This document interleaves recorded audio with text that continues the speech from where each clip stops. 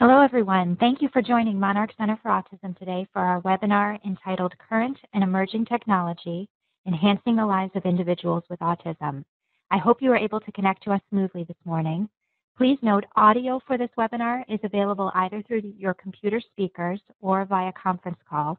If you have a question during the webinar, you'll see a green tab at the top of your screen. If you scroll over it, you'll find a chat button. If you have a technical question during the webinar, please feel free to send it to me, Lauren Domenico. I'm also listed as all panelists. And if you have a content question, please send it to Dana Munn, who is listed as your host. At the end of the webinar, our presenter, Chris Karter, will address all, tech, all content questions, and I'm happy to answer the technical questions throughout. In the next few days, we will post the presentation and an archived recording of the webinar on our website, and I will send you an email with links as soon as they're available. So without further ado, I am very pleased to hand it over to our speaker, Chris Karter, who is the Educational Technology Specialist at Monarch Center for Autism. Thank you again so much for joining us today.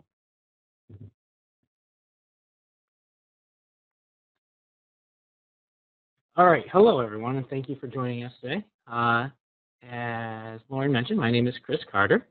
Um, what we're going to be covering today is our the current and emerging technologies in enhancing lives with, with for individuals with autism. Um, this presentation um, for me is kind of a, really kind of a cool one because I'm always really interested in not only what's out in the field right now, but what's to come down the pipeline. Hopefully, we can cover a lot of that within this presentation. Uh, a little bit about me. That's me. You should probably see me on your screen right now. Uh, I've been with Monarch Center for about eight years now. Um, I started there in 2006 as a uh, as an assistant in the classrooms. Um, eventually, I moved on to uh, uh, working with Monarch Teaching Technologies and helped design elements of Vizzle. And then uh, from there, I moved on to Monarch Center for Autism, or back to Monarch Center for Autism, I should say, in order to help assist with the data system. Um, right now, I my chief responsibilities are data system and introducing new technologies into the classroom. In this uh, presentation, I've also included my email address. Um, so if you would like to email me, you're always welcome to. Um, I'm pretty prompt about answering emails, but if you have any questions about the presentation after or anything after that, you'll have this uh, to refer back to. Okay, so some things that we're going to go over in today's agenda here. Uh, we're going to go over some current technology. Within that current technology, we're, we're just going to briefly go over what is assistive technologies and some of the assistive technologies we use with children with autism. Uh, also, within those technologies, we're going to go over iPads. Uh, and we're also going to go over some of the apps that we use with children from iPads. Uh, we're going to go over video modeling, smartboards, uh, some emerging technologies, some uh, the wearables under those emerging technologies, AI, and robotics. So with further ado, we're going to start off with current technology. So assistive technologies. Uh, a lot of these things are can be simple things, they can be complex things. Um, what assistive technology is defined as is any type or any item, piece of, of equipment or product system, whether acquired commercially or of or off the shelf, that should be modified, uh, or customized that is used to increase, maintain, or improve functional capabilities of individuals with disabilities. So a lot of these you probably see around the typical classroom.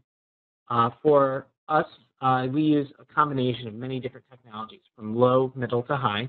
Low technologies are those things such as just the pencil holders, something that gives the child the ability to grip onto the pencil a little bit better, or in this day and age, the ability to grip, grip onto a stylus a little bit better. Uh, middle technologies, which these can be your buzzers, uh, time timers, any sort of kind of thing that doesn't have a lot of electronics really into it, isn't very complicated, but really has a simple one unit use type thing. Um, high tech technologies, this includes our computers, tablets, and evolving technologies as well too. Um, so the big field of this really is augmentative and uh, augmentative technologies. Um, for individuals on the spectrum, one of the biggest uh, uh, focal points is usually communication. With uh, AACs, um, we're able to communicate with an individual with autism. Um, there are two, uh, they come in two different forms really. unaided, uh, which is sign language, and then and aided, which is like devices. A lot of the uh, aided devices um, have really evolved over the last few years. Uh, we've seen a lot of um, simple ones and a lot of complex ones. Simple ones would be things like this Big Mac. This is something that you can just tap the button and it has one or two words that you can just tap and it gives the child the ability to speak. Um, we use a lot of these as kind of responses, um, things like I need help, stuff like that. Uh, the Big Mac uh, has a single switch. Um, it allows 20 seconds of record time. These retail around $89. Uh, these you can also be hooked up to a speaker. They do have aux out and stuff like that on the back there too. Um, getting a little bit more complex, there are things like the Go Talk out there. Uh, the Go Talk uh, ranges in quite a bit different sizes, as you can see from the uh, side images over here. You can have 1, 4, 9, 20, 32. They even make a pocket size one as well, too. They also range in price because of all the differences in them. Recently, within the last year or so, GoTalk also has now ventured into uh, producing apps as well for children with autism. They have a free version of the app that is out there in the market. Uh, it's lim limited by the number of uh, slides you can put on there, um, but you can also upgrade to a full version of 70, which is 79 dollars, which will allow you to create a similar grid size uh, uh, device using an iPad um, or Android device. The only uh, disadvantage to the analog or the physical version of these is there is no way to really back them up. Um, so if uh, students' device is damaged, you have to go back and re-record all of these audio inputs. Um, that's where you have a little bit more of an advantage from those uh, devices that are on like an uh, iPad or Android device. You can at least back up uh, work that's done on there.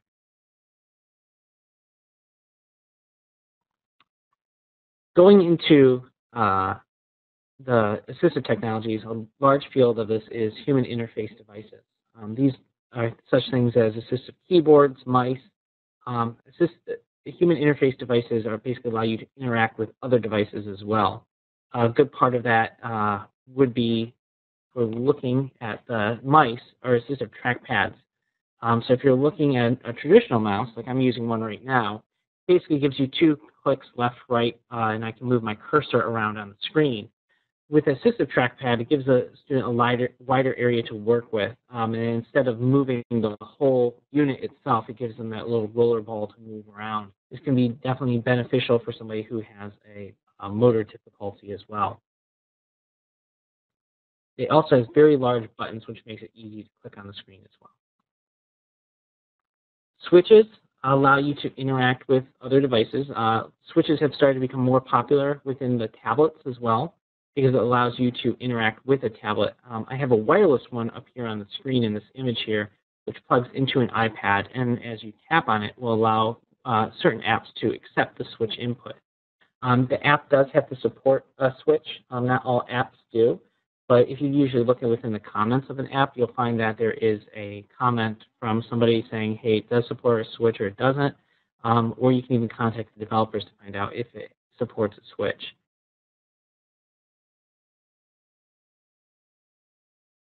So depending on the disability of a person, um, there are also different switches other than just the tap ones. There's also eye tracking switches and pneumatic switches, which are those that you use to breathe into. Uh, these are alternatives other than a button switch.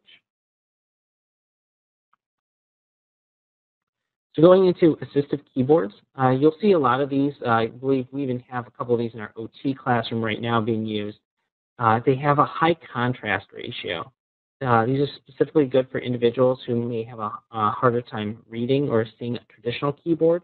Uh, the higher contrast uh, allows them to see the keys a little bit clearer, and the larger letters allow them to easily distinguish the keys. Um, there's also uh, different uh, different physical keyboards out there, split keyboards, things like that, that are uh, more easier for an individual with special needs to use. Um, Personally, though, there's also other keyboard layouts out there too. Uh, right now, what most people use is something called a QWERTY keyboard layout. Uh, there's a couple other ones like as a Dvorak layout uh, that just put the letters in a different order. Um, and depending on how you use your keyboard, that may be uh, one benefit to you. Smartboards are a very common piece of, uh, kind of going to our next big leap uh, past inputs of keyboards and mice. Uh, an input that can be seen is a smartboard, and this is a big part of the technology that we use here at Monarch Center. Um, smartboards, when I first started at Monarch, were already in the classroom, and that was in 2006.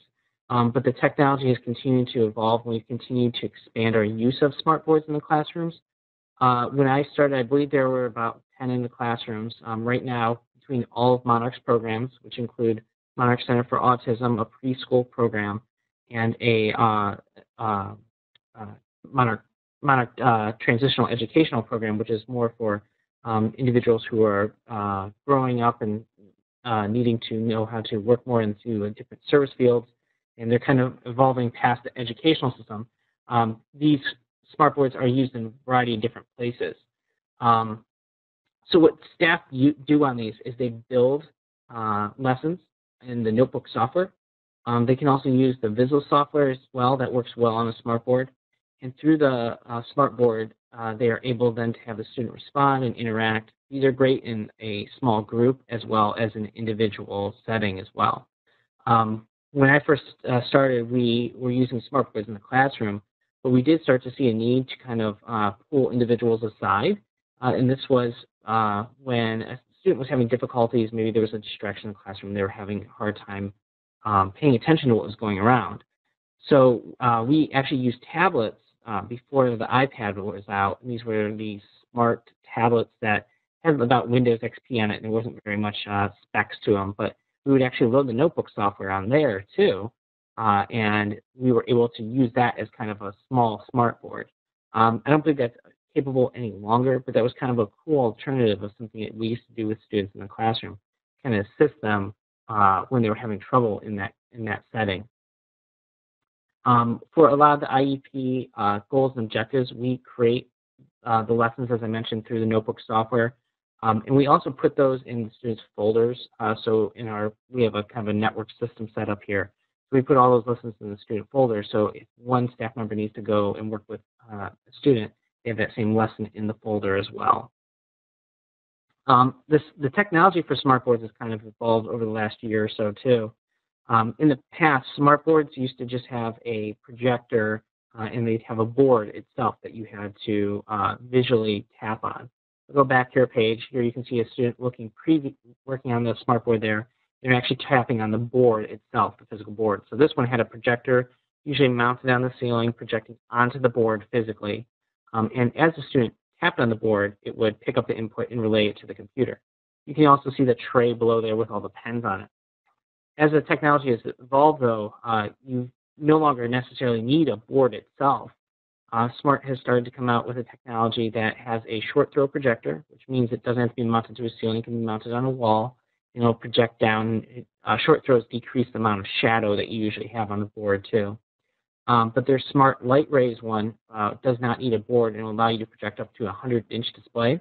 We actually have a couple of these that we've recently uh, started rolling out in our Monarch Transitional Education Program.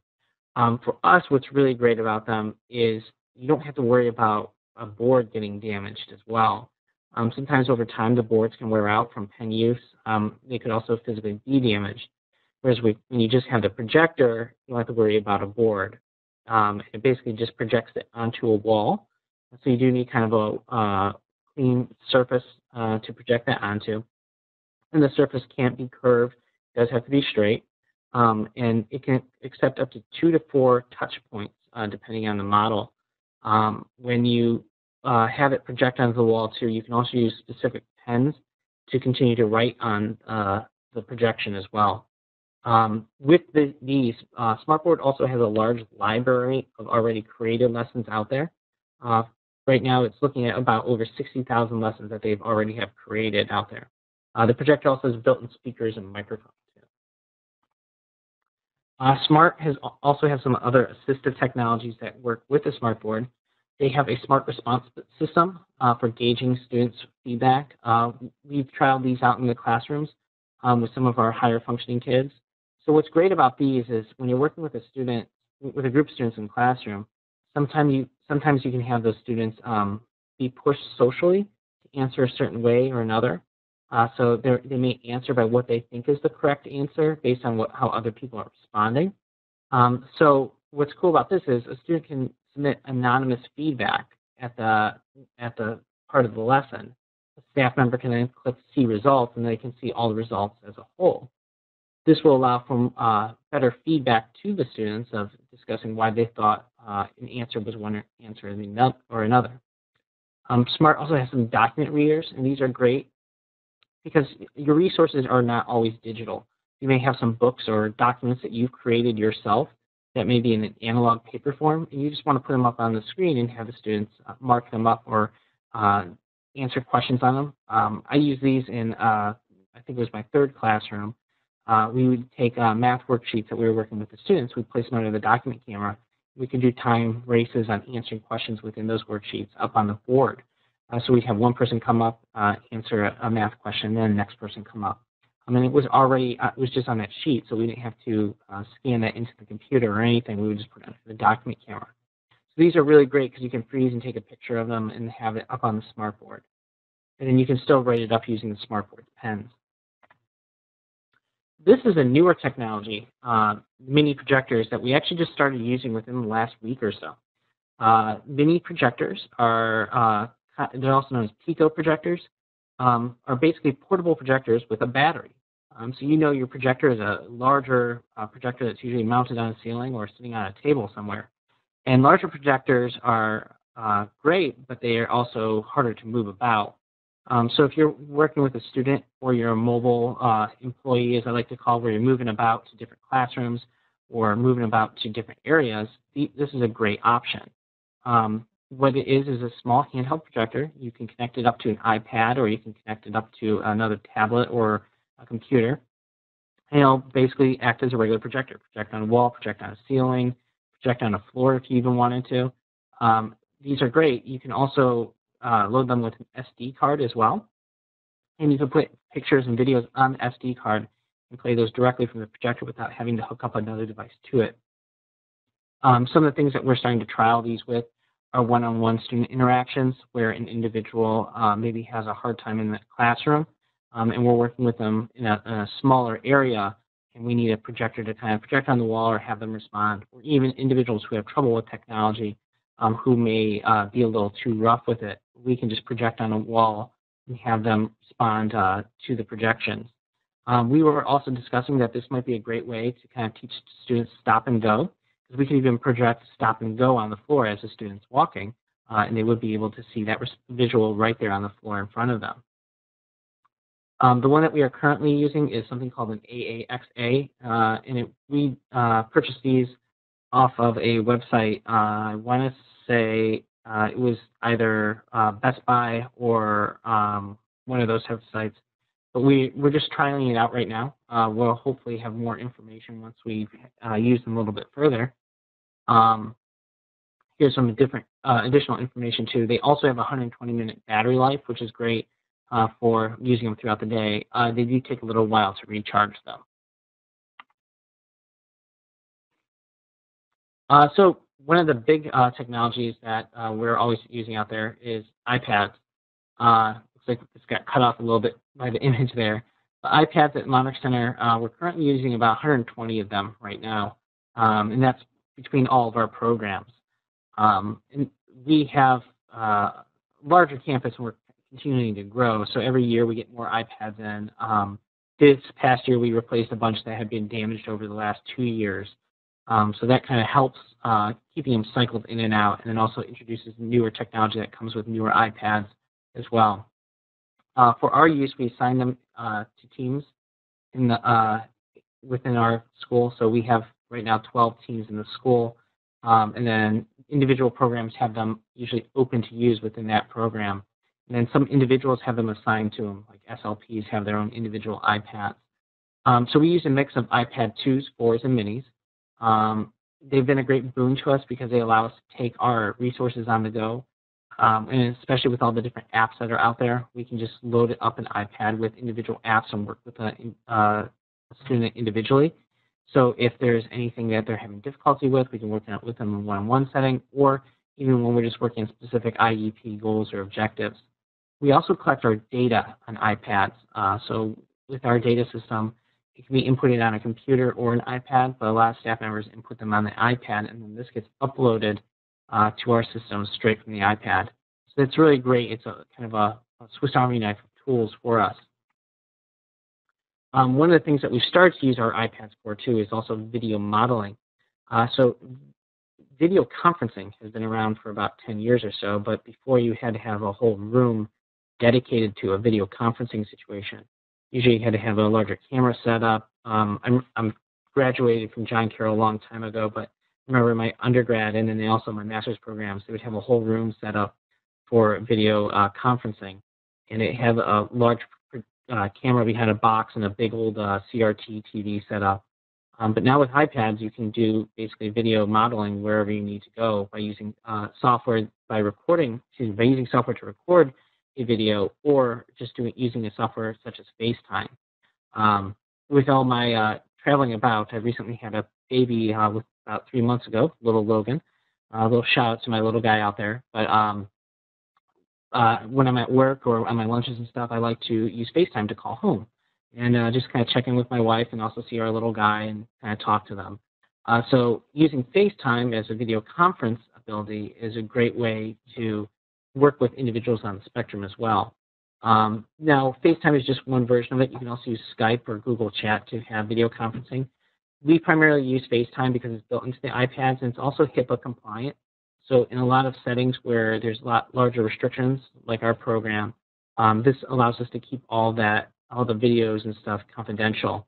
Um, uh, one of the ways that video modeling, um, pre-recorded video modeling is being used at our school right now is um, one of our gross motor teachers, uh, Erin, she's been uh, taking upon herself to record a, quite a few videos of how to do particular tasks. And she's put them in, uh, into Keynote uh, and loaded it on the iPads. And Keynote's kind of a presentation software like PowerPoint. Um, and then she's set up stations with three or four different iPads that the students go to. When they tap on the screen, they're able to see the video of what they're supposed to do. So it's really kind of cool to have a video modeling set up, especially in stations like that. Um, for all the different iPads that we use, um, there are some uh, kind of challenges with that. Um, how we have our iPad set up, we use carts to kind of sync them all.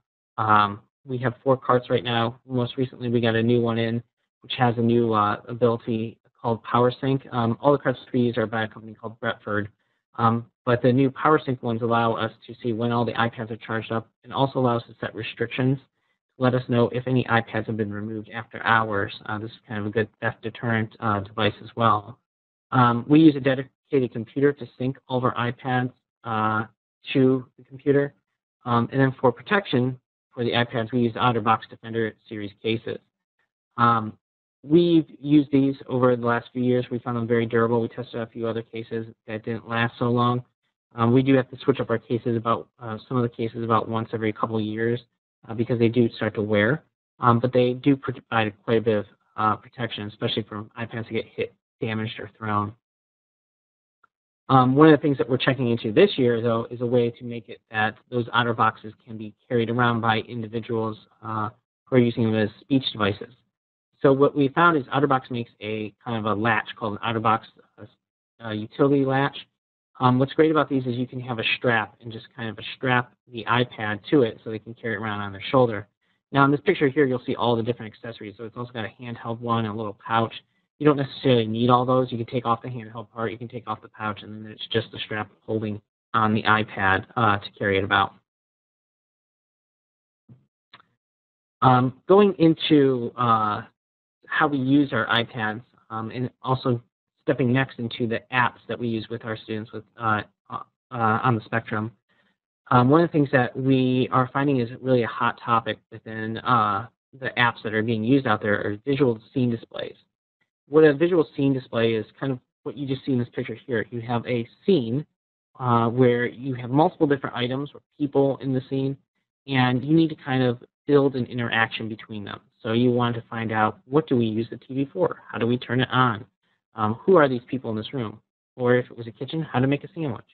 So it kind of gives you a virtual environment to kind of help build language, but also to kind of build a discussion of the experience and what you should be doing within that environment. So going on to our recommended apps, Uh, first one I'll bring up is uh, an app called SceneSpeak. Um, it's very versatile. Um, it gives us the ability to use our own custom images, record your own voice. You can also create social stories in here. Now, this app, um, much like the next group of apps that we are uh, going to go on to, are all apps that are visual scene display apps. So uh, you can also use your own text, and you can also animate that text, which is kind of cool. Um, so what you can do is you can change the color of it based on response.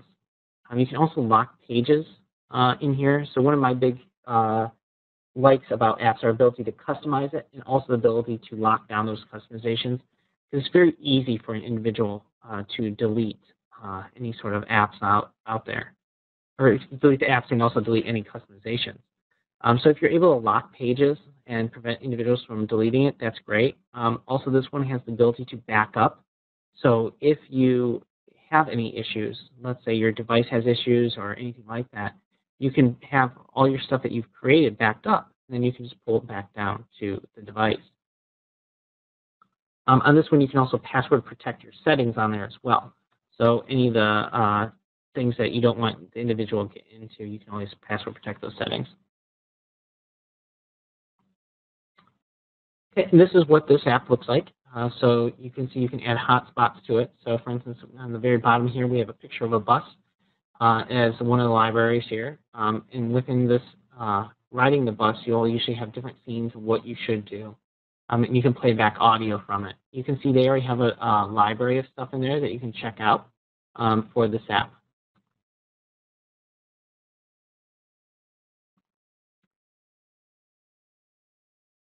Another uh, scene-related app is Scene and Heard. Uh, it's an interactive context-based communication aid and learning tool. Uh, it allows you to import your video, um, and they have things called widgets in them, widget symbols that you can use that are already built in there. So it's got a built-in library of symbols, which is always good and helpful to have in case you don't have a picture of what you exactly need right on hand. Uh, much like the other app, you can record your own voice, though, and use your own pictures. However, this one you can use your own videos as well. Uh, you can link the scenes to create uh, fluid events, um, so you can create a couple individual scenes and make kind of a book out of them. Um, it also has some pre-built-in scenes already in the app. This one starts off at $49.99. So this is what this one looks like. You can have a scene like out on the swing, and you can say what you should be doing in that scene. Autismate is a well-known app, uh, and it's been kind of evolving very rapidly out in the market. Um, I know uh, one of our colleagues, Howard Shane, has been working close with Autismate people. Um, and Autismate is a scene cue-based AAC app.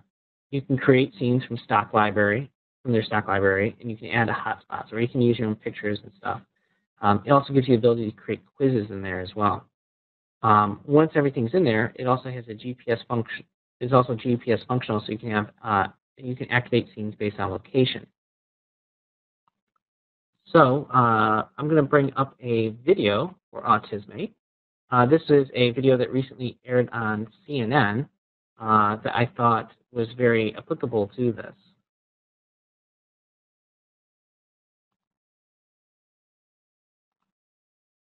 Is changing lives. You probably know a child or a parent affected by autism. The Centers for Disease Control and Prevention says the number of children on the autism spectrum in the U.S. has increased tenfold in the past 40 years.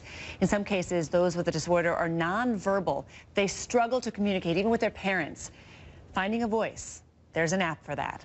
CNN Money's Laurie Segall introduces us to a teen named Joey. Hi, Laurie. Hey, Christine. Well, we were lucky enough to spend a day with Joe. He's got supportive parents, supportive teachers, and they helped us understand how technology has just changed his life. Take a look. Ordering a sandwich has always been tough for Joe. He's 18 years old, and he has autism. Joe doesn't talk. Joe's never spoken to us. For his entire life, Joe expressed himself by pointing. Do you want a yogurt or grapes? That's what he could eat and where he could go. even the bathroom. he could get agitated at times, even violent. He was biting himself, which a lot of kids on the spectrum will do. And I think that comes out of frustration from not being able to communicate. Put paper plates on the table. But a year ago, his communication skills improved. For the first time, he was able to get through to his mother. He's using an iPad app called Autismate. Joe's still pointing, but his communication abilities have improved. Strawberries. You want strawberries? His interactions less frustrating. Put the silverware on the table.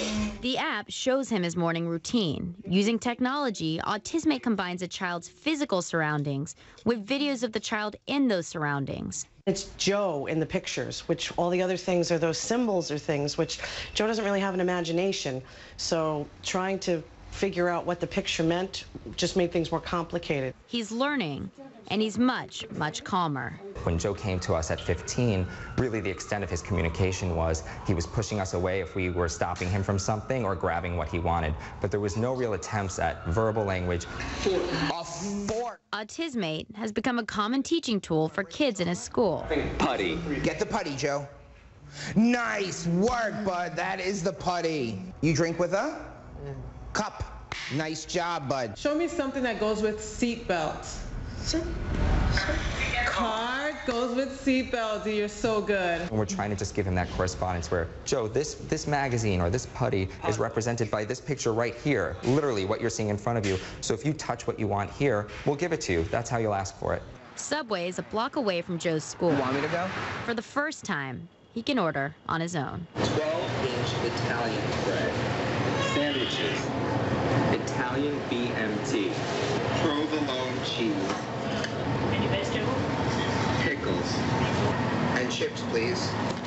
To, to watch a video of my son go into a subway and order lunch and use a credit card and pay for it, I mean, can you imagine?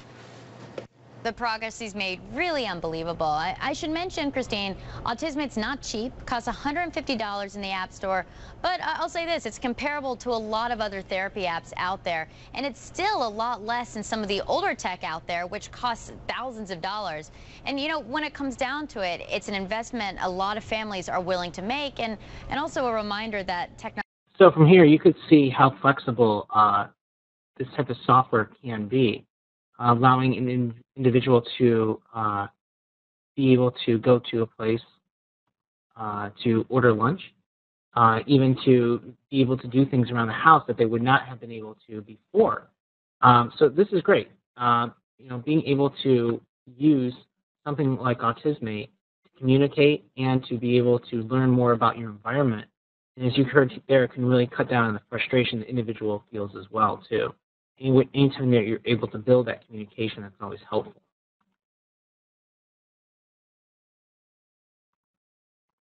Um, another one of these type of applications uh, that also has this type of uh, technology built into it is TouchChat. TouchChat is known as more of a communication application, um, but TouchChat also has the ability to create scenes in it as well. Um, so you're able to create scenes on the side, uh, or I'll bring up the image here you'll create scenes, and then on the side of it, you can have this is a kitchen, and have the language right there, and bring up the language for the situation. So touch chat can also be used as this as well. Another one, or another application going more into uh, scheduling is ChoiceWorks.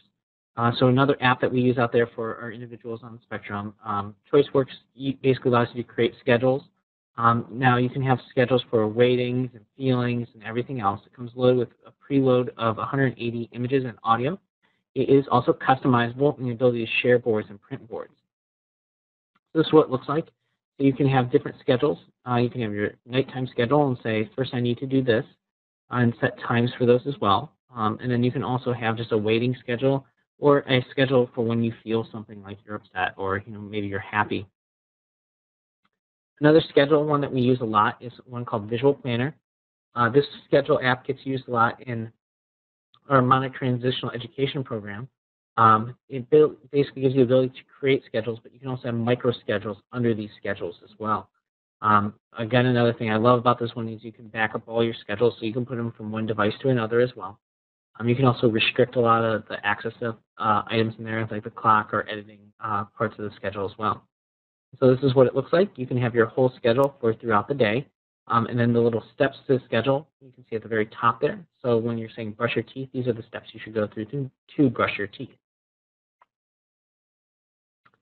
Another uh, app that's out there that's very close to our, our home here is Vizzle. Uh, again, I full disclosure, I worked on Vizzle in its earlier years. Uh, I am no longer with Monarch Teaching Technologies. I am with Monarch Center for Autism.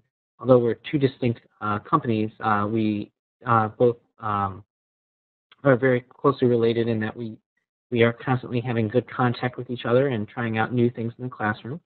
Uh, Vizzle um, has a player app that is available on the iPad, uh, and it's also available for Android as well. And the player basically allows you to play back um, any of the things that you've created on the computer.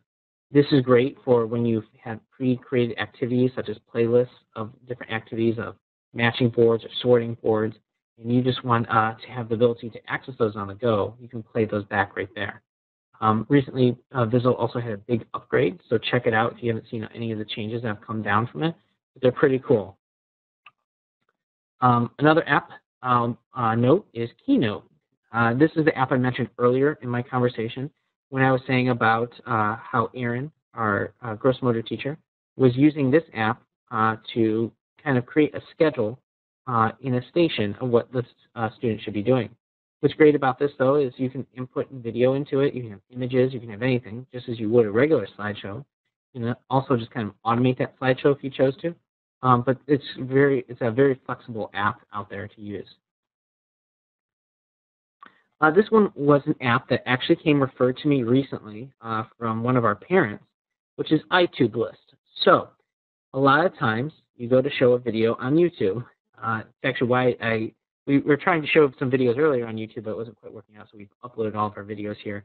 Um, but usually when you show a video on YouTube, on the left or right-hand side or on the bottom, there may be some other videos that they think you might be interested in. Sometimes these videos may not be appropriate. So what iTube List does is it allows you to create kind of a bookmark uh, playlist of videos and just play back those videos. And they're uh, they're not saved to the device, but it accesses YouTube and loads those videos, and you just see just those videos.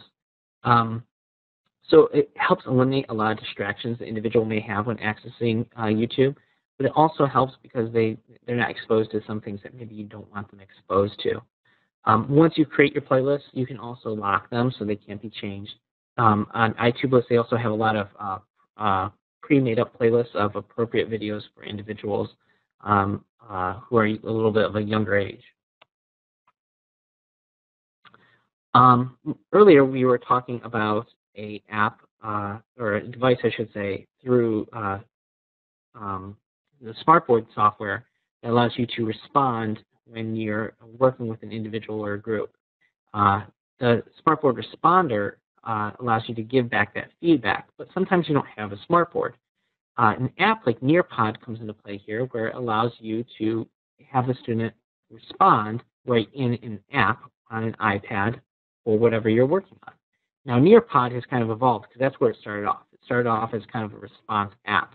Um, but now it allows you to take your own content and upload it to the device. So you can upload, let's say, a PowerPoint presentation or a document that you're working on, and then you can create quizzes that pop up and the individual uh, can respond to them, and then you can receive the results right there on your device. Now, what's great is it allows you to control the other individual's devices too. So if on my iPad I have a presentation, and I would like to share it with three other kids in the classroom, they all have their iPads out. If they all open up Nearpod, I can send that presentation to them, and we can all review it together. Uh, so it's really kind of a great way to kind of share your uh, content with individuals using mobile devices. Now, Nearpod has a iPad and it also has a Android app out there as well. Um, they offer a silver account, which is their free account, which allows you to upload your content to their servers. Um, I do have to say though that it is limited on size, so they also have a paid for account as well too. This is what it looks like. Uh, so you can share your actual presentation, and then you can have individuals respond to a quiz, and you can see the results of the quiz as well. Um, going into some SLP related apps, Autism Language Learning is an app uh, by Talk Time. Um, it uses uh, functional real life video uh, not still pictures, Um, it basically allows you to uh, create different scenes or have different scenes uh, and different actions, um, and then you can kind of piece them together. Um, it's for expressing, it's for teaching expressive language concepts such as verbs, uh, singular pronouns, um, and also plural pronouns. Um, it's also great for teaching who, what, where, when, those type of things. Um, what I like about this app though is it does have data collection built into it, so you can collect your data right in the app and then use it. So uh, I will go on to my, probably I'll call this my app of the year uh, because it is getting more widely used every day at our uh, Monarch Center. Um, and this is an app called Volume Sanity. Um, this app is very, very simple, but when loaded onto an iPad, it allows you to set the master volume of the iPad. Now, right now, if you were to pull out your iPad or iPhone, and let's say you had a app that some, could sometimes get really loud. Um, sometimes some children's apps can be like that. Um, and let's say you wanted to set the restricted volume. You went under accessibility, the only thing it allows you to uh, restrict is the headphone output through the music app. It doesn't let you do it for all the apps out there. So this app allows you to set that master volume to whatever you want. So let's say you want to set it at 50%, and then you uh, close, you go to another app. When you go to play that app, it will only play at 50% of the volume, even if the individual has it turned all the way up. Um, you can also password protect it so that the individual can't go back and try to adjust it, which is great. Um, there are a few small caveats with this app. It has to be open in the background to work. Um, and then also, if your device uh, dies, like the battery dies or something like that, you may have to close it out and then reopen the app um, to have it work again. Um, but if you keep your iPad pretty well charged um, and you uh, and you close out your apps regularly, this should be a great app for you.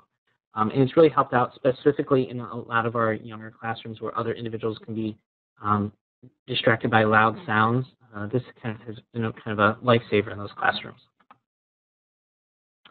Uh, this was an app that was referred to me by a friend, and that is that there are a lot of apps out there like timers and stuff like that. And they're all like $5, $6 a piece. Um, ASD Tools is a set of uh, tools that uh, allows you to create some free custom uh, little timers, stuff like that, that you can use in your session.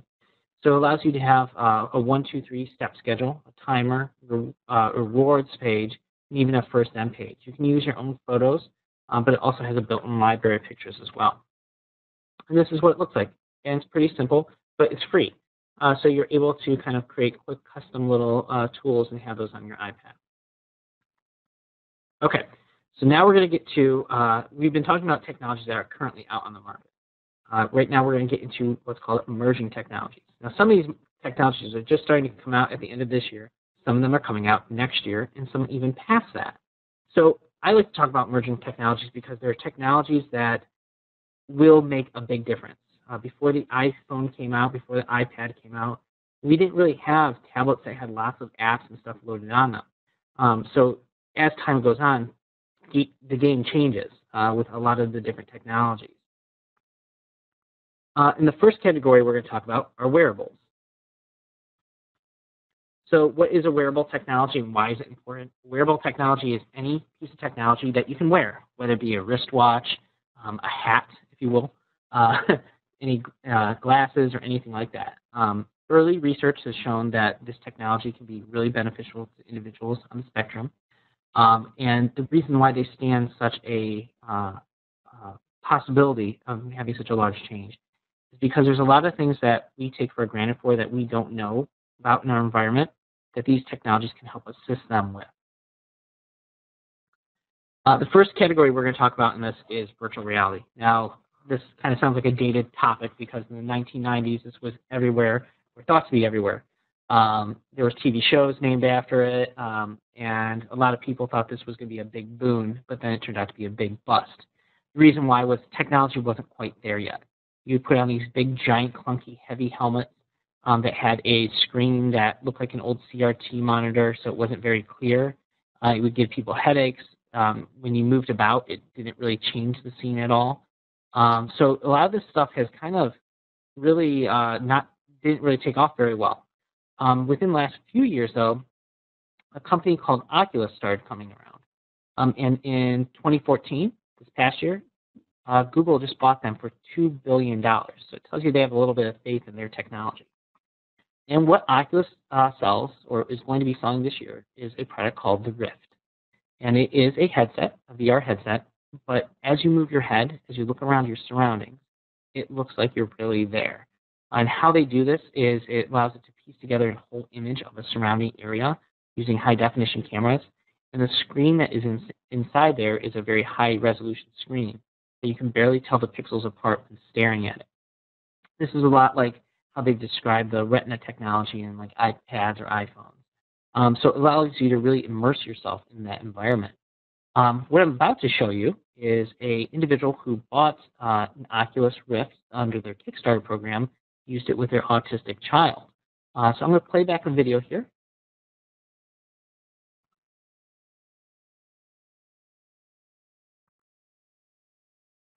So this individual with autism, uh, if you listen to him in this, he, he's reaching for and feeling like he's really there in that environment.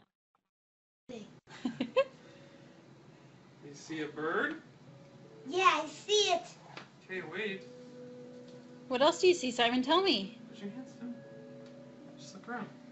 I see lights. You see what? Lights. Lights? What kind of lights? Those lights over there. Over where?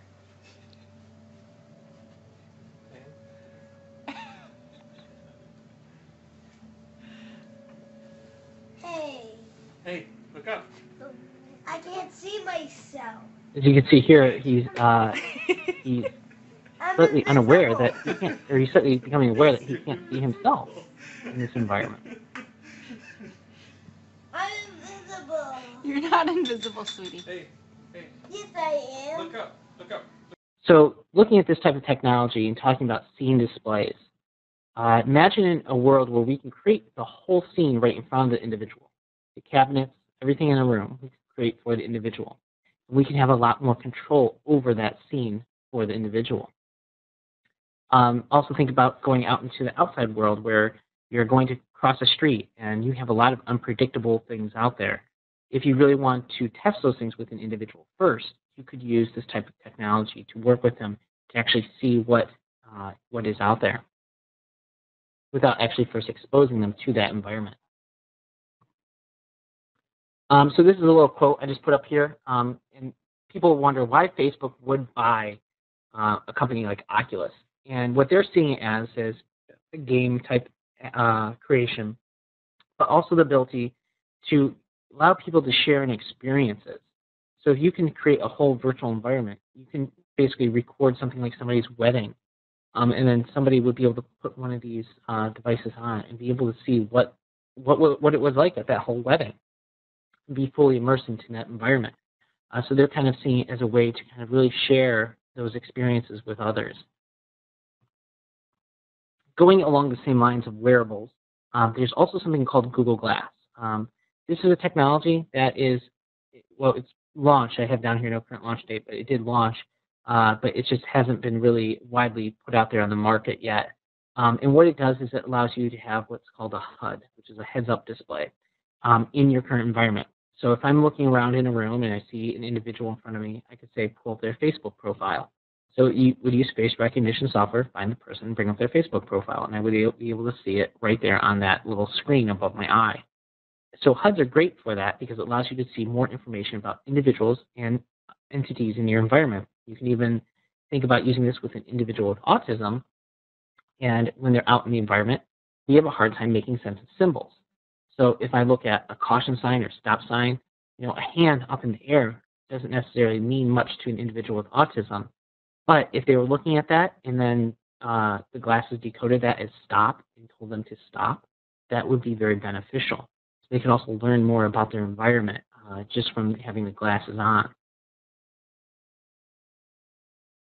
Another uh, potential aspect for it is uh, emotions. Individuals with autism sometimes have a difficulty understanding what other individuals are feeling. From these, you'd be able to wear it, look at the person. Uh, the glasses could tell when somebody's smiling based on facial recognition, tell when they're frowning, and maybe discuss with or have a conversation with uh, individuals saying they're sad, they're happy, help them understand how people are feeling in their environment based on their facial cues. So discussing wearables, uh, another hot topic is always what what's going to happen to individuals out there um, if we do take them out more into the environment. Um, and one of these things is GPS location type uh, devices. Uh, this company makes something called a pocket finder, which you can put into an individual's book bag, and you can always see where they are. Um, for individuals with elopement, this type of technology is very beneficial uh, because you always have that feeling or worry of, you know, what happens if somebody runs off. Um, this is a great technology because you can always locate them if they did so. Um, they, the, this one was, uh, I think, one of the first ones to the market with this, um, but they're a little bit larger. They are getting smaller. Um, even a company uh, such as Tile, uh, who now uh, this past year launched a Kickstarter um, where now they're rolling out their their product. Um, basically makes these little tiles that you can put on things and then locate them with your phone. Um, I have two of these on me right now. One is in my wallet. One is on my keys because I'm notorious for not being able to find these things. Um, but these are basically little squares that allow you to uh, find things when they're lost. Um, so if you uh, want to put these on somebody's book bag, uh, you could detect where they're at based on uh, the little tile. Continuing on to the wearables, um, there's also something called uh, Pebble Watches. Uh, these were another Kickstarter, much like uh, the Tile was. And basically, it is a watch that allows you to have little information brought up on the screen. So you can check your text messages, you can get notifications on there. Um, it'll vibrate on a notification. So where these uh, have a potential boon uh, are for prompting. So another item on the market for that is going to be the Apple Watch when it launches earlier this year. So if we're looking at individuals and thinking about how we prompt individuals, being able to have a wear device that they could be prompted in a socially acceptable way is an awesome thing to think about. A lot of times right now we prompt by tapping a shoulder or uh, showing individuals uh, something on another device or verbally communicating to them. Being able to send a message to a device they're wearing uh, and being able to have that pop up on the screen is awesome. Uh, so that's actually something that the Apple Watch supports natively by something called Tap. So what you can do is bring up this little part here. I can tap on my screen, and all of a sudden will, you'll feel the buzz or tap on your wrist. So if you needed to prompt an individual, you could just tap right on the screen, and it would prompt them. Now, that's just one form of it. You can also have images pop up on the screen. You can also have little audio cues because it does have a built-in speaker as well. Um, so these are just some potential things for a device that's not even out on the market yet, but it has a lot of potential for individuals with autism. Um, one of the cool things too is the I, Apple Watch also is going to have a lot of sensors built into it as well. One of the things it does monitor is heart rate. And why is that important? Well, when you think about how you feel, when you start to get upset, your heart rate rises. So if something is monitoring how you're feeling, it could let you know that, hey, you may be starting to get upset. Maybe at that time have a pop-up on the screen to give you some steps to start to cool down or options to do. Um, this way you don't have to get you don't have to go as far as to outwardly uh, act on those in possibly a violent or other way. So our next category that we're going to go into is artificial intelligence. Uh, we always think of artificial intelligence as that kind of larger, controlling everything around you type thing. Um, but artificial intelligence isn't quite out there yet, the full version of it. What we do have is kind of more of assistive uh, artificial intelligence where we've kind of built it to answer respond to certain uh, trigger questions. So things like who, what, where, when, why, those things will all be responded to. Uh, where we're seeing that is in things like Siri, Google Now, or Cortana. Cortana is Microsoft's version, Google Now is Google's version, and Siri is Apple's version. Uh, and these softwares all have the ability to answer questions. Now, for individuals with autism, this is a great way to kind of build their communication because they can ask it questions and then they'll get a response. So it's a great way to teach those who, what's, where, whys, and hows. Um, now, one of the cool things though is a lot of these things also have other assistant type, assistive type uh, softwares built into them. So a big part of those, even if uh, for Siri, is if you run into an emergency situation you say call 911, based on all the information that's in there, Siri will call 911 for you have that conversation with the dispatcher let them know your location, let them know your information. Uh, they can also go into your um, your health information from HealthBook if you have any sort of health complications that you need to let them know about. So this is all great information that in an emergency situation, it could respond for the individual who may not be able to respond. Uh, this gives you a little chart here of how each uh, one responded to a list of questions that were asked of it. Uh, you can see overall, Google now responds the fastest. Siri's in the middle there, and Cortana's at the end. Um, and what this is based on is its query searches when you do ask it questions.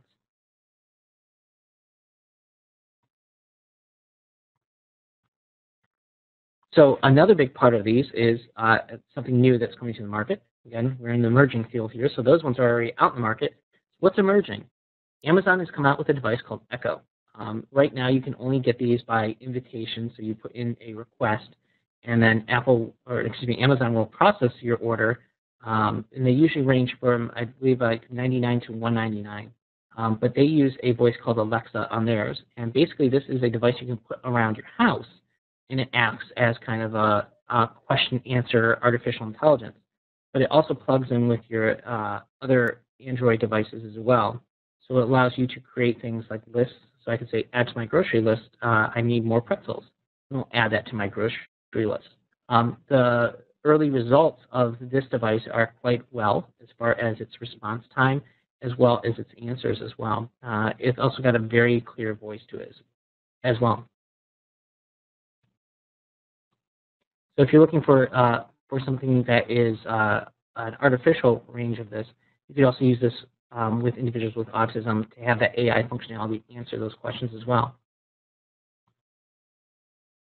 This gives you an idea of the type of questions you could also ask. Um, I included a little review video.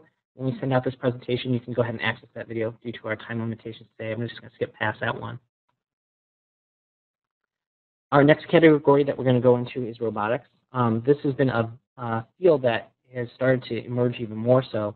There's about four different robotic fields that are uh, looking at using robotics with individuals with autism. Um, and the reason why is because individuals with autism are found to respond very well to robotics. Um, there's some theories of why that might be. Um, some of it is the, the predictability of the robotics, as well as the range of uh, motion that the, the robots have. So um, how they move and stuff like that can be a little bit more catching to the eye for an individual with autism. First one of these we're going to talk about is, um, I believe it's pronounced Neo.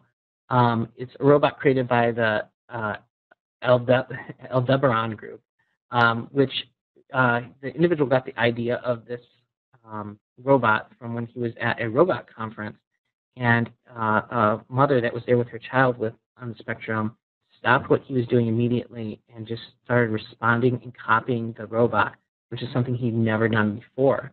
Um, so the Neo has many sensors built into it and can detect such things as touch. So when somebody's touching it, to when somebody's looking at it. Um, also, it has sensors to uh, listen to your voice and respond to that as well. Um, it's autonomous in the sense that it can move on its own, it can dance, it can do all sorts of fun things. Um, here you can see all the different uh, breakdowns of it, all the different functions it has. I'm going to play back a quick video of this one as well.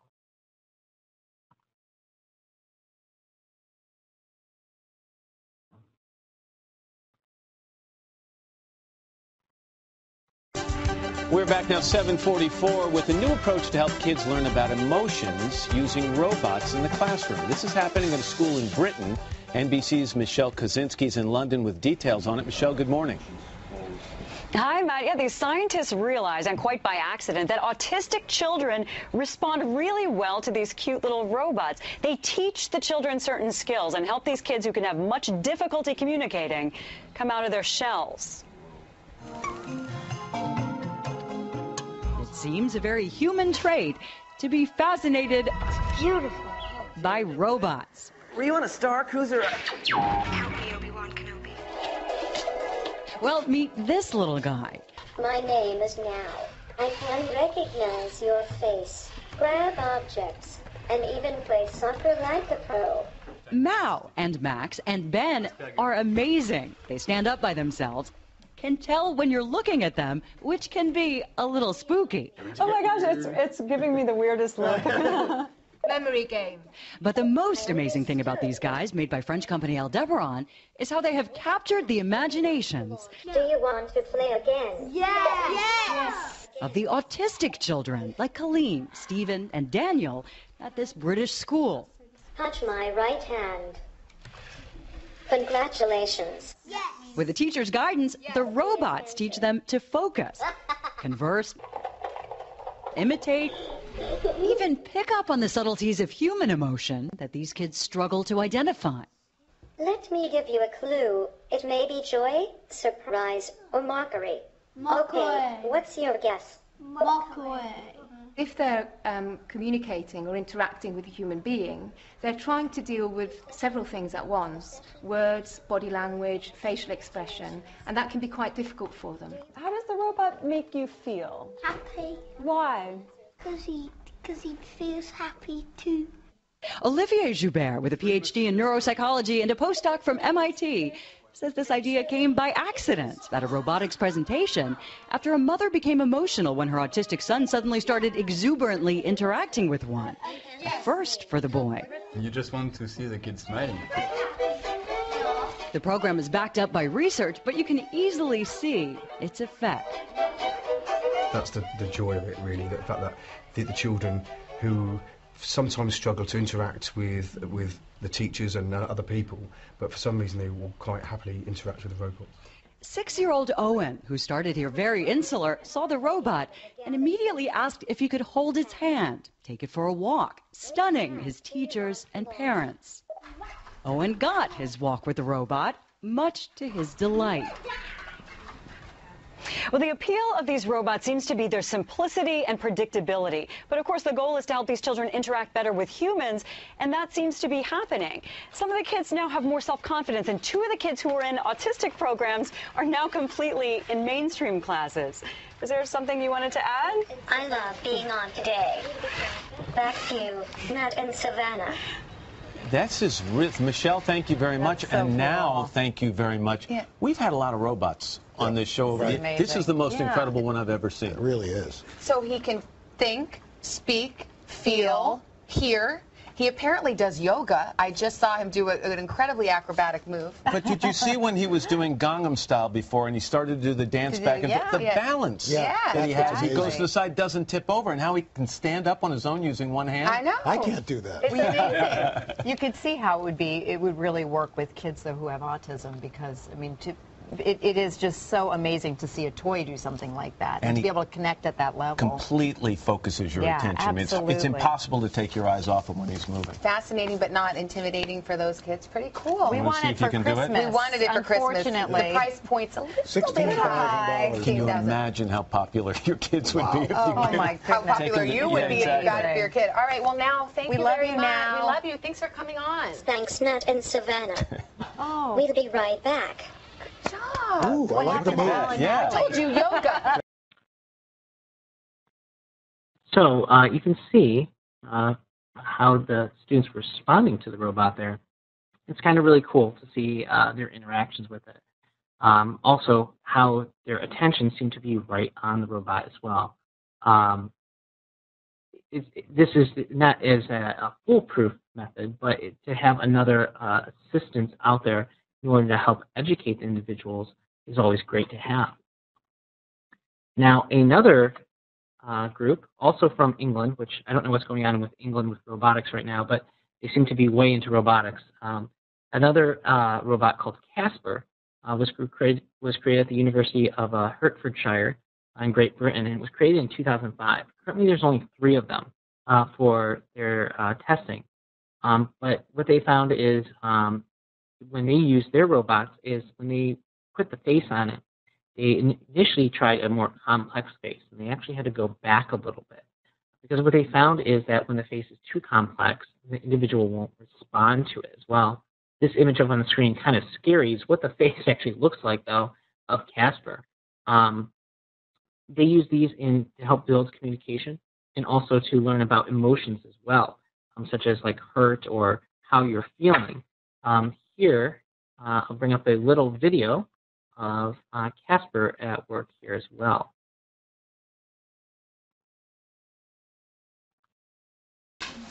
For children with autism, it's sometimes simple things like extending a smile that pose the biggest challenges.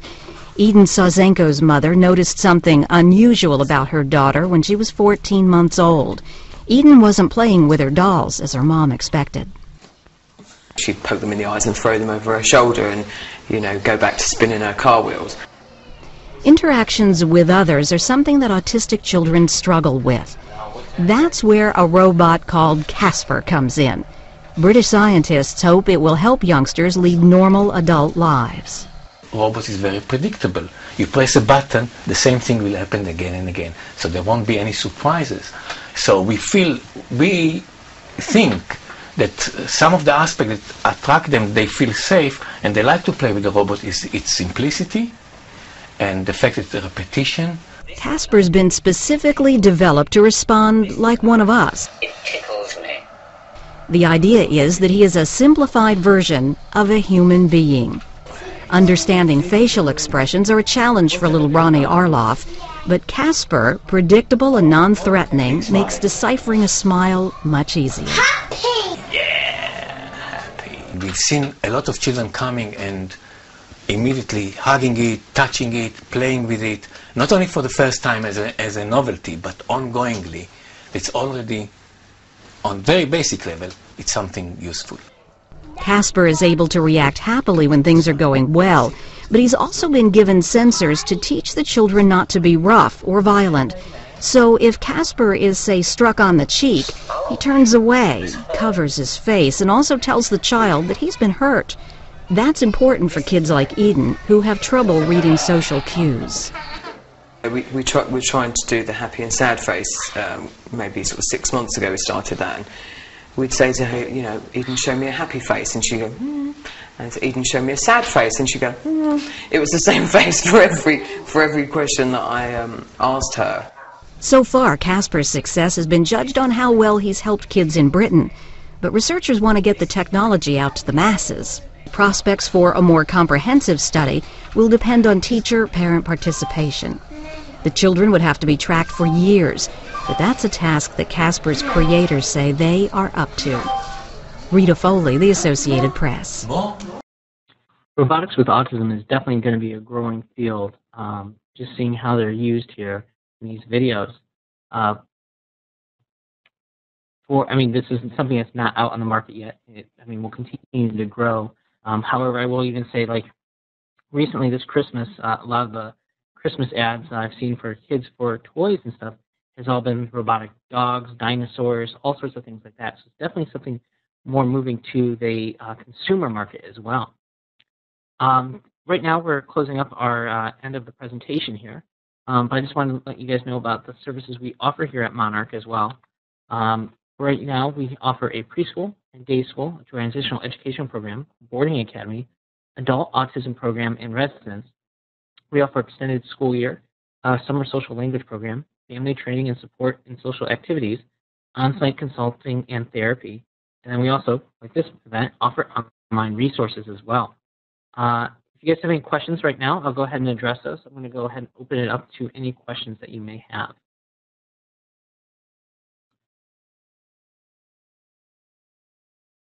Uh, so if you'd like to ask any questions, you can go ahead and click on your chat button. You can communicate them to myself or to Lauren, and then we'll go ahead and answer any of your questions you have there.